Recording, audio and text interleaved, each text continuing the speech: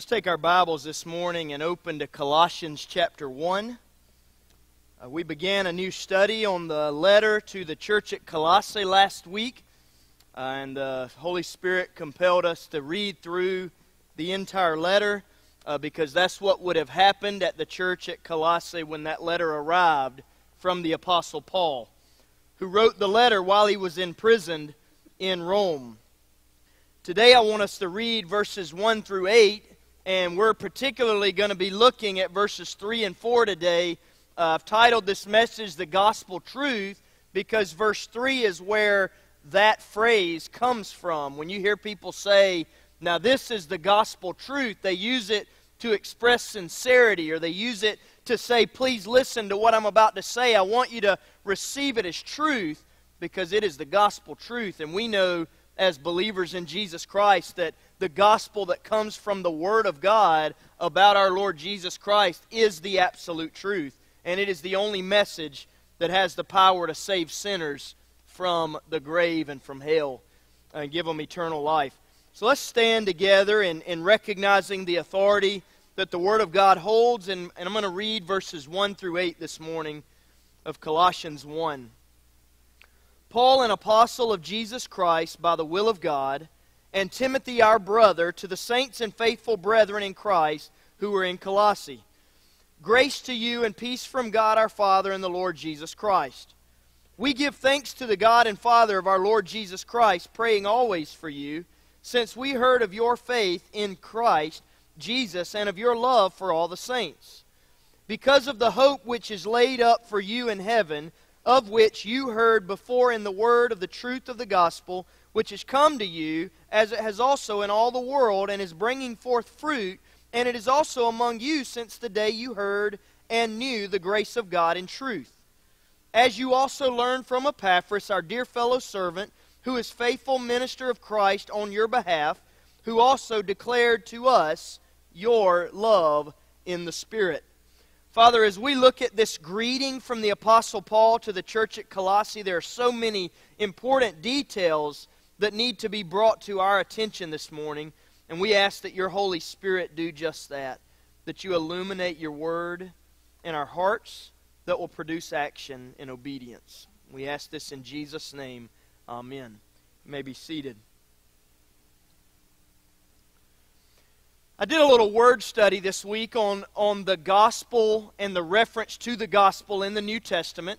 And just to share with you a couple of passages and, and attachments that are made to the word gospel in the scriptures to, to, to clearly define it, I'll give you a few of those. Acts 20 24 says the gospel of the grace of God. Romans 1 9, the gospel of his Son. Romans 15 16, the gospel of God. 1 Corinthians 9 12, the gospel of Christ.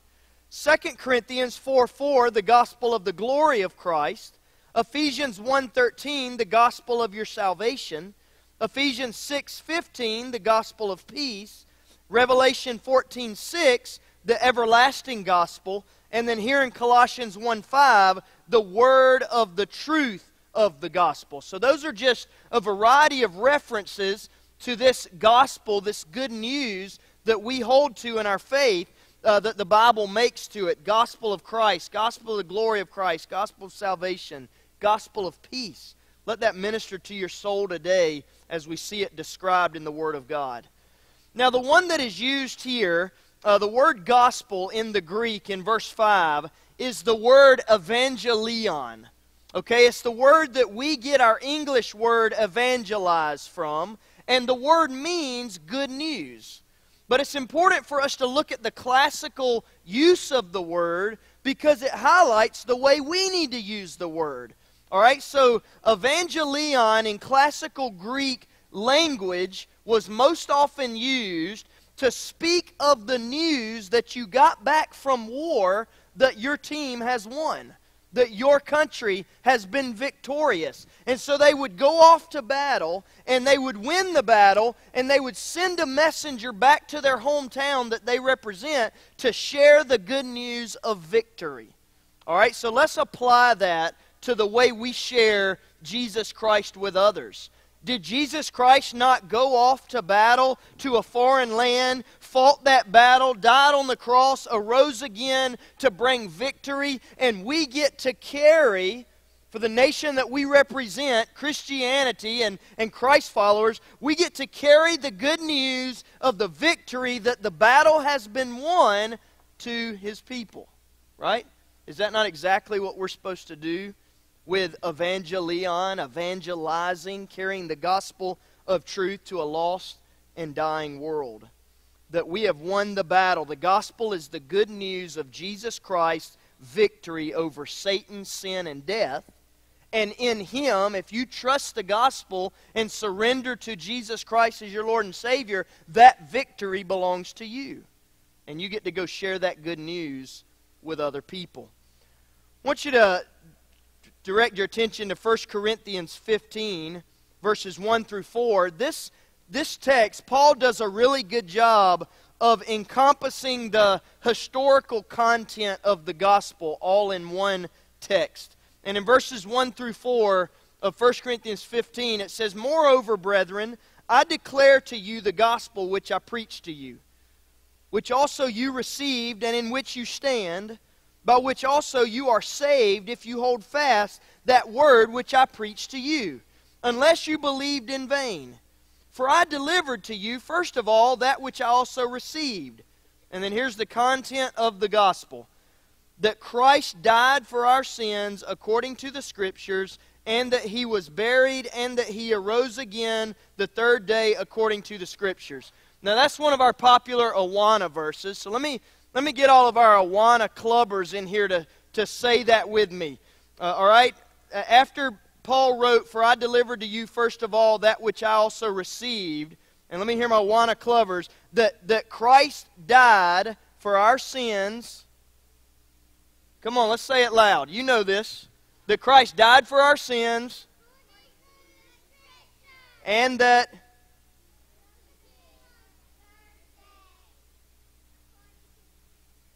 All right, guys, come on. I'm going to get on to your listeners for checking you off if you can't do better than that. All right, so uh, Christ died for our sins according to the Scriptures, and that he was buried and he rose again the third day according to the Scriptures. That is the historical content of the gospel. You may say today, Well, I don't know how to share the gospel. You tell them that Christ died on the cross, arose again the third day according to the Scriptures, and you have shared the gospel. That he came and gained victory over Satan, sin, and death, and that that victory can be yours if you will trust in him. It's very, a very simple message with an eternal impact. The gospel is the good news that Jesus Christ died to provide complete forgiveness of sin and rose again that those who believe might live forever in heaven with him. Now, the second point that I want to make, or the first point I want to make out of this text today, using verses 3 and 4, is that the gospel demands several responses from those who believe in it. Okay, this is built into why Paul opened the letter to the church at Colossae the way he did. The gospel demands a response. If you believe the gospel today, there is a reaction that is demanded from you. And I'm going to show you eight of those reactions. The first we draw from, from Matthew 4 23. Uh, we should proclaim the good news of the gospel everywhere we go, following Christ's example. And Jesus went about all Galilee, teaching in their synagogues, preaching the gospel of the kingdom, and healing all kinds of sickness and all kinds of disease among the people. The second response that the gospel demands is that we should always be ready to defend it. 1 Peter 3:15 Sanctify the Lord God in your hearts and always be ready to give a defense to everyone who asks you a reason for the hope that is in you with meekness and fear. Third response we are to work hard to advance the gospel in all areas of our lives. Philippians 1:27 Only let your conduct be worthy of the gospel of Christ, so that whether I am whether I come and see you or am absent, I may hear of your affairs, that you stand fast in one spirit, with one mind, striving together for the faith of the gospel. Fourth response we should pursue the fellowship we have with all representatives of that gospel. We should seek to, to participate in brother and sister fellowship around the gospel of Jesus Christ. Acts 2:42 and they continued steadfastly in the apostles' doctrine and fellowship and the breaking of bread and in prayers. Fifth, we must be ready and willing to suffer for the sake of the gospel. 2 Timothy 1 8. Therefore, do not be ashamed of the testimony of our Lord, nor of me, his prisoner, but share with me in the sufferings for the gospel according to the power of God. And we know that following this gospel does involve persecution. We should be willing to endure that. The sixth response that the gospel demands is that we must make sure, and I want you to really hear this one, we must make sure that our personal lives do not hinder the advancement of the gospel. We must make sure that our personal testimony does not put a stain on the display of the gospel of Jesus Christ in our marriages, in our personal lives. And it says in 1 Corinthians 9, verse, verse 12, If others are partakers of this right over you, are we not even more? Nevertheless, we have not used this right, but endure all things lest we hinder the gospel of Christ. We want to make sure that our testimony upholds the gospel that our mouths are supposed to be speaking. The seventh reply or response that the gospel demands is that we must never be ashamed of it. Romans 1:16 For I am not ashamed of the gospel of Christ for it is the power of God to salvation for everyone who believes for the Jew first and also for the Greek. And then the last response I want to share with you that the gospel demands from you, if you truly believe it, is that you must realize that it carries its own divine power. I don't know about you, but it was extremely helpful to me when I came to the realization that it is not my job to talk someone into salvation. It is my job to present the good news to them, and that good news message has the power in itself to change their life. All right, so that same power that, that raised Jesus from the dead, that power is living in me as I share that gospel, uh, the good news of Jesus Christ. And 1 Thessalonians 1 5 says, For our gospel did not come to you in word only, but also in power, and in the Holy Spirit, and in much assurance, as you know what kind of men we were among you for your sake. So we recognize the holy, infinite power that the gospel has. All that we have just covered is the basis behind Paul's introduction in verses 3 through 8, which involves seven aspects of the gospel that we're going to be looking at over the next couple of weeks. First two is that we respond in faith and we react in love. So we'll be looking at those this morning. The gospel truth is received by faith. Let's read verse 3 again. If you'll look at uh, Colossians 1. Verse 3 and then the first part of verse 4. It says, We give thanks to the God and Father of our Lord Jesus Christ, praying always for you, since we heard of your faith in Christ Jesus. Since we heard of your faith in Christ Jesus. I want you to notice something that the Apostle Paul did here in his greeting to the church at Colossae. He did not take an opportunity in writing his letter to this church that he's heard so many great things about to flatter them. Verse 3, does, verse 3 and 4 does not say, I give thanks for all that you have accomplished in the city of Colossae. I give thanks for your faithfulness and all that you have done in and around your city. Instead, what does he do? He takes the opportunity to show that he fully believes that the work in progress that he's hearing about in Colossae is the work of God, not the work of man. Had this opportunity last night. A, a visiting couple that attended the marriage revival here uh, at New Providence said, Man, I just keep hearing about all that you guys are doing down there at New Providence. I said, Let me correct something. What you are hearing is all that God is doing down at New Providence. And that's what the Apostle Paul is doing here. He, is, he has heard fantastic things from Epaphras, who visited him in Rome while he was in prison, who is the church planter that planted this church in Colossae. And he tells him all of these great things that they're doing and how they're standing up for the gospel. And Paul writes to commend them in that, but he says, I give thanks always for God the Father uh, of Jesus Christ. He's the one who's making this happen. Now, I will tell you, for interpretation purposes, the word always at the end of verse 3 says, We give thanks to the God and Father of our Lord Jesus Christ, praying always for you. That word always, when you're reading verse 3, you need to assign it back to the phrase of giving thanks to God, not to the verb praying.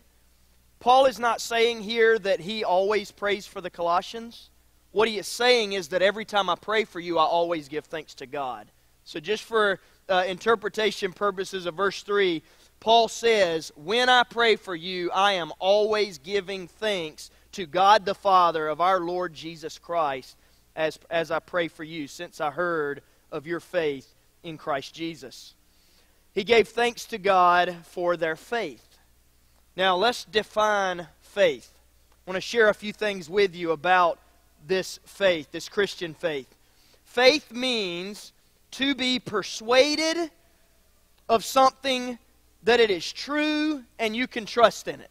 All right? So let's let's hold on to that definition. We we commonly give the definition that it's believing in something you cannot see, right? But we need to go a little further with that this morning. Faith is being persuaded that something is true and you can trust in it. All right? Hebrews 11:1 1 shows us that it is not uh, just a blind leap in the dark. It's not an uninformed jumping off of a cliff, not knowing whether something's going to catch you. Instead, Hebrews 11:1 1 says faith is the substance of things hoped for and the evidence of things not seen. That word substance can also be translated as assurance. So for you to have faith in Jesus Christ, it's not a blind faith. It's a faith that can look at the evidence. You can look at the evidence of Scripture. You can look at the evidence of all the saints that have practiced this faith around you and what it has done for them. Uh, that's what the whole Hebrews 12:1 says that since you are surrounded by such a great cloud of witnesses, run this race that's before you. Know that many other people have run that race and finished well, and use that as evidence for the faith of the gospel of Jesus Christ. There is sufficient evidence given to us for the basis of our faith scriptures and testimonies. So let me tell you two examples to help drive this point home that it is not a blind faith. All right, why do you drive on roads that you've never driven on before? How do you know that there's not a 500 foot drop off right around the curve? It's because you trust in the DOT who have left that road open, and you also know that other cars have gone that way and come back from that way safely, right? So you you have the confidence and the faith that that road's going to get to where it leads because other people have traveled it. Right? How about why do you eat at restaurants that you've never eaten at before? Why do you not have the fear that you may not survive after consuming that food?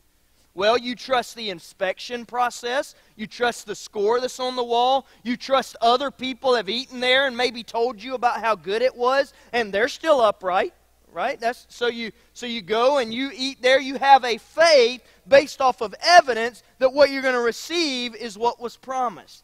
We do the same thing in Christianity. It's not a blind faith. We look around us, and the person that's sharing the gospel with me has that faith worked for them.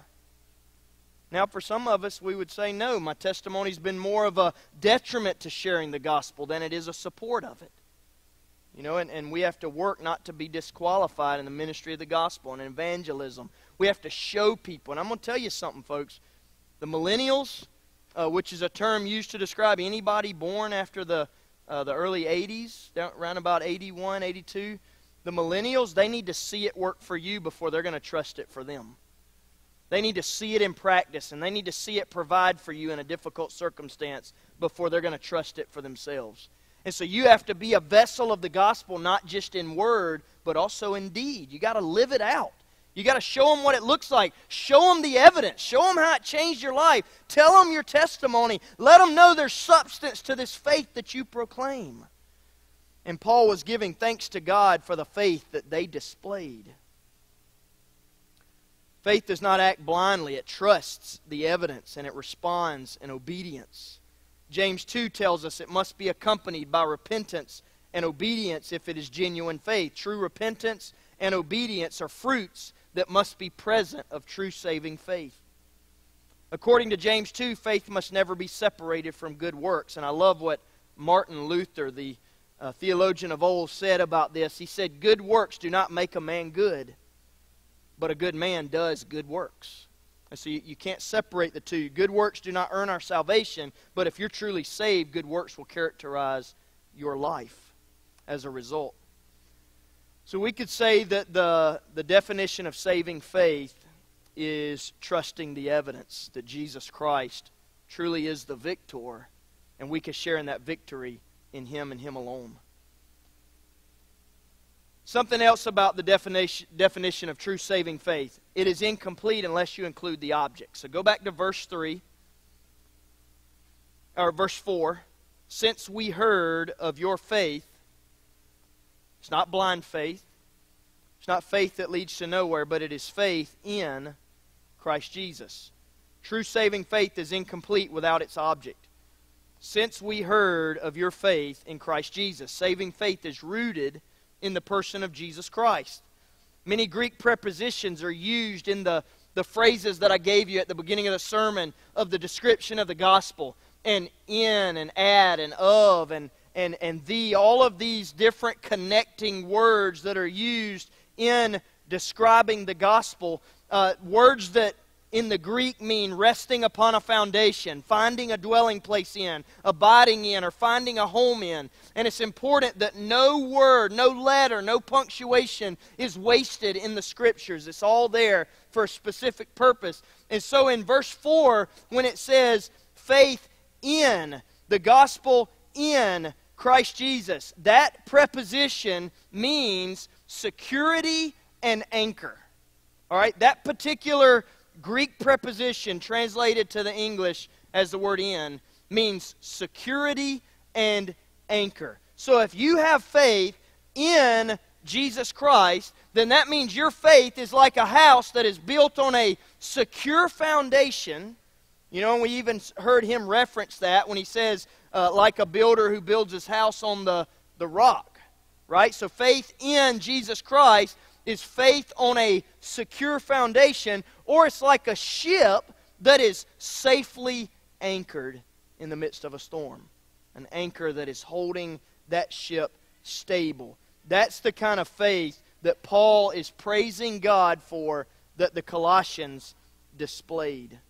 Having faith in Jesus Christ is as secure as a house on a solid foundation and as a boat safely anchored. Which brings us to the third point that I want to make today. Not only do we respond to this gospel in faith, but we display this gospel in love. Okay? The gospel truth results in love. Look at the second part of verse 4.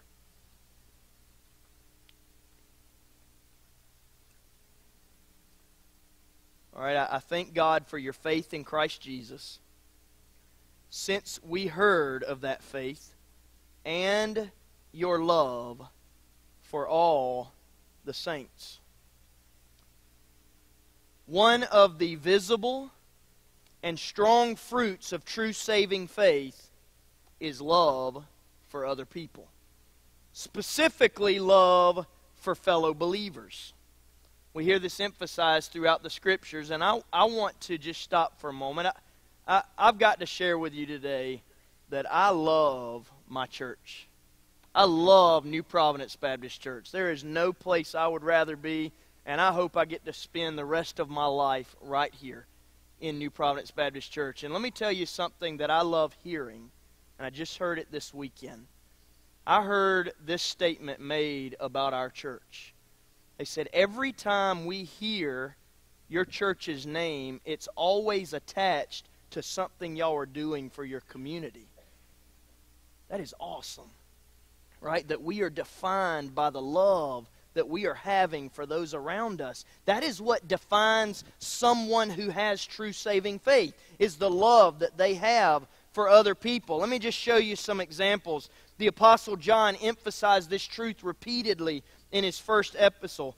Uh, epistle, 1 John 2, verses 9 through 11. He who says he is in the light and hates his brother is in darkness until now.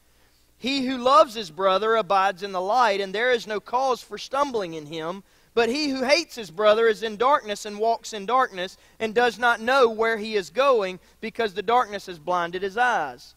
Then again in chapter 3, verse 10, in this the children of God and the children of the devil are manifest. Whoever does not practice righteousness is not of God, nor is he who does not love his brother. Then again in verses 14 and 15 of that same chapter, we know that we have passed from death to life because we love the brethren. He who does not love his brother abides in death. Whoever hates his brother is a murderer, and you know that no murderer has eternal life abiding in him. And then in chapter 4, verse 20, he says it again. If someone says, I love God, and hates his brother, he is a liar. For he who does not love his brother, whom he has seen, how can he love God, whom he has not seen? True, a true child of God will love other believers.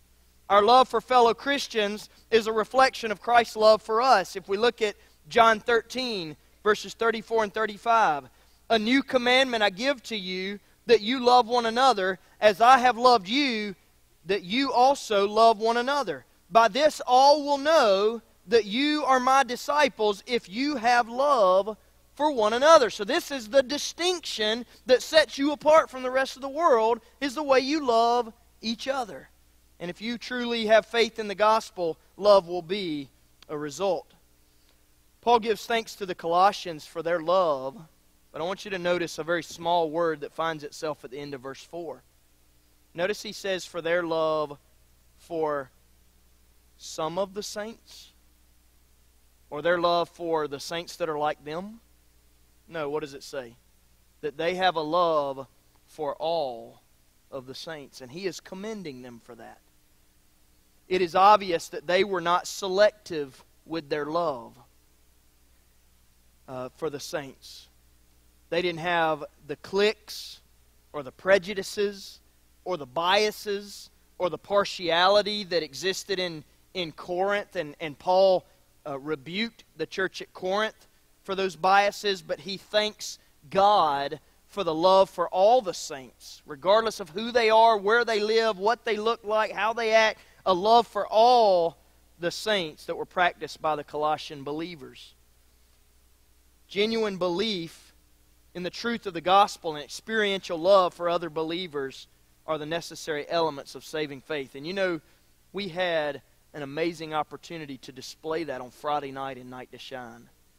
Uh, it, it may not have been comfortable at first for you to love somebody that's not like you, but you found very quick that they were easy to love because of the love that Christ has put in you. And that's how we ought to be responding to people all the time. Uh, all we need to know about someone to extend brotherly love or sisterly love is that they trust Jesus Christ as their Lord and Savior. Nothing else matters. It doesn't matter the color of their skin. It doesn't matter uh, the, the makeup of their, of their bodies. It doesn't matter the, the way they're dressed. All that matters is that they are a redeemed believer in the Lord Jesus Christ, and I'm commanded to love them unconditionally. The reason I love them is because of the love that Christ has shown me. So, two sides of the Christian life for today's message faith and love. True saving faith in the gospel makes itself visible through your love for others. We're saved through faith and we are saved to love. It's more than just a conviction of the mind, it transforms the heart. And a heart that is transformed displays itself in love. So I want us to do something today as we close uh, this time in the Word. I want us to do a self evaluation. All right, you've been given two key elements that have to be present in order for you to have saving faith. The first one is a substantial, assuring faith in the gospel, an assurance that what you believe is true. And the second is a love that is produced by that assurance. And so I want you to bow your heads and uh, worship team, if you can go make your, go ahead and make your way up. I want you to spend just a few moments. I'm not going to lead you in a prayer, but I want you to spend just a few moments evaluating what you have called up to this point faith or salvation. And, and the evaluation that you can make is do I have an assurance in my heart today that the gospel that I believe in will cause me to inherit eternal life? Do I believe that it is real? Do I have sufficient evidence to believe that it is true? And the second thing is, do I have a love for my brothers and sisters in Christ, regardless of who they are? Am I producing a love? Is the gospel inside of me producing a love for those around me? The, as you think about that, the theme for the letter to the church at Colossae is the centrality of Christ. Christ will never be in the position that he needs to be in in your life if you don't have faith in him and if you're not loving other believers. And so just spend a little while on that as the uh, instrumentalists begin to play. I want you to think about the basis for your Christianity, for your faith, and is it producing love in your life as a testimony to others?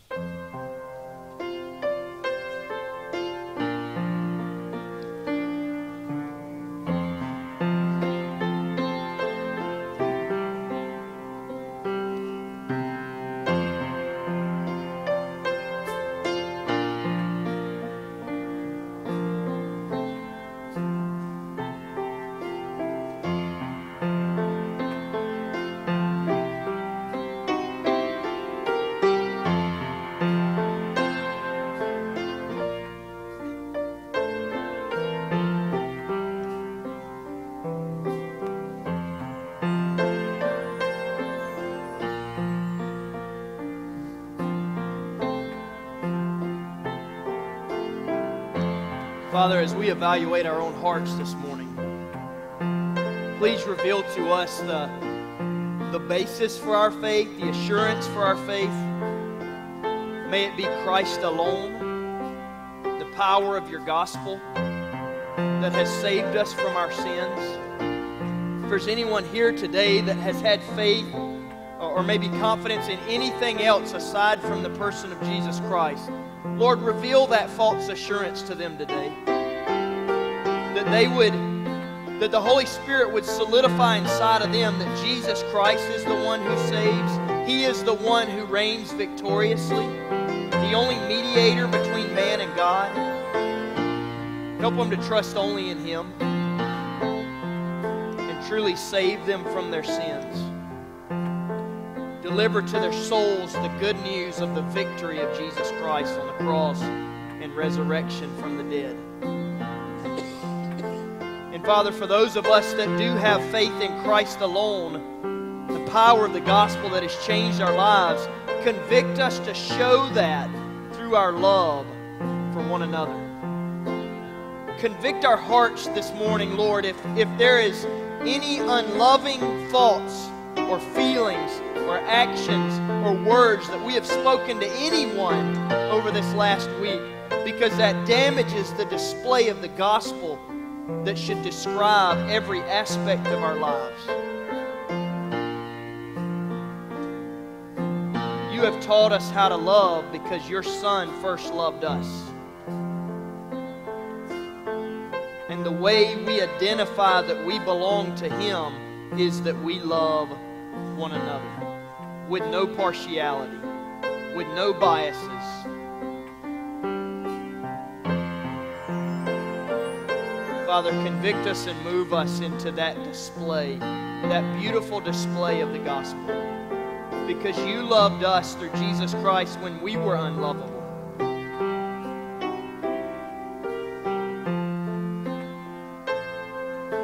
Father, help us to love one another the way that Christ Jesus has loved us.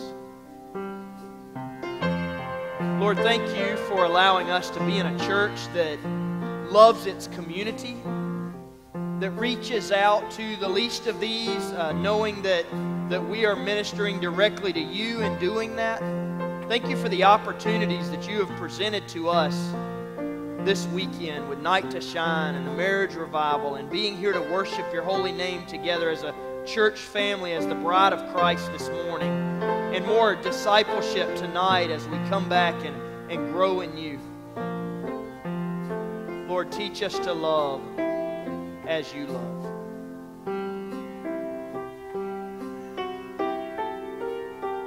Lord, thank you for loving us in spite of ourselves and saving us from our sins, cleansing us from all unrighteousness. if there's anyone here today that that has not happened with, Lord, I pray you would wash them today from their iniquities and that you would draw them to yourself in a way that they cannot resist, that they would respond immediately to the love that you have shown them. We thank you for your Son, Jesus. It's in Jesus' precious and holy name we pray.